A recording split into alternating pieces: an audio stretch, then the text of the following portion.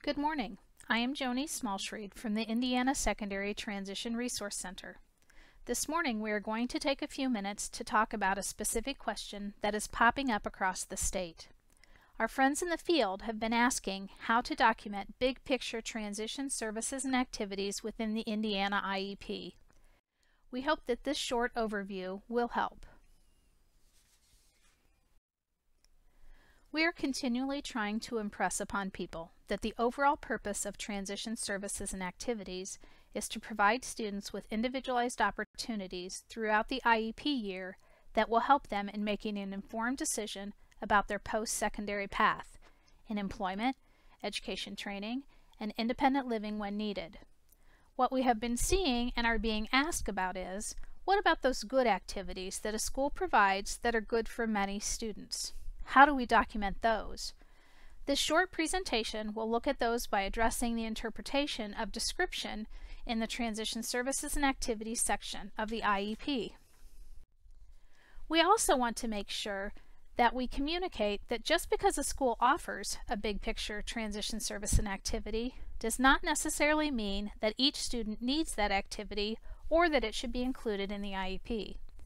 The mantra we continue to use is that transition services and activities should focus on following the path of the student.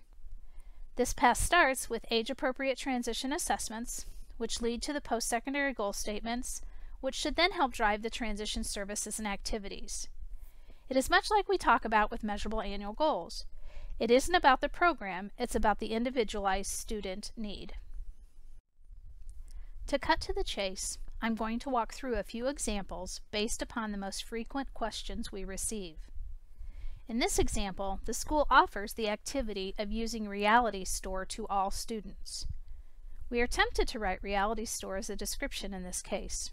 However, Reality Store is actually only ve the vehicle that will be used to address something the student needs that could be informed by this activity. If a student moves from your school to mine and we don't offer Reality Store, the transition service and activity would need to be revised. Or if your school determines to discontinue this activity, it would need to be revised. Instead, think about what you want the student to experience. Do you want him to experience roles and responsibilities? Do you want to develop a greater understanding of how much it costs to be an adult? When we look at it like that, we can individualize the description of the activity then put reality store in the narrative to explain how it is projected that this service will take place. A short recap. This is why in best practice we would not put reality store as the description.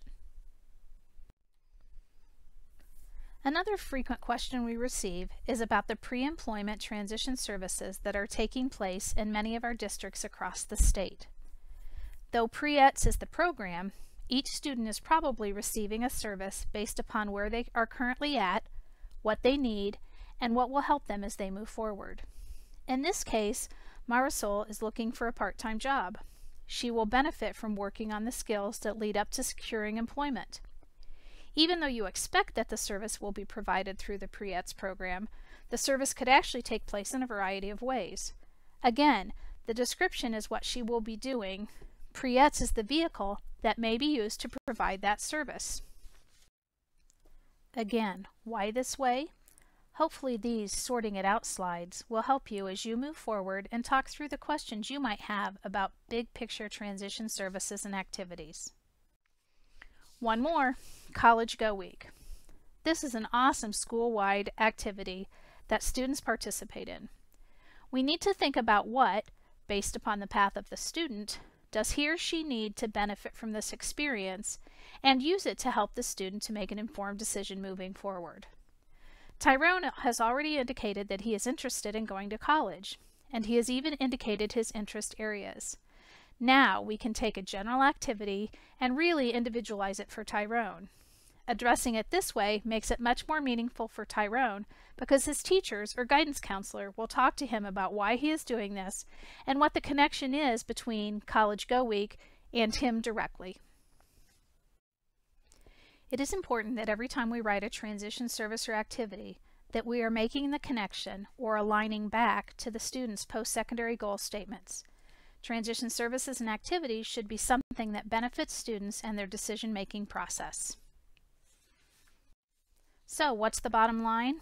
The Transition IEP is all about the cyclical process of helping students climb the ladder or move to a new ladder to their post-secondary goals.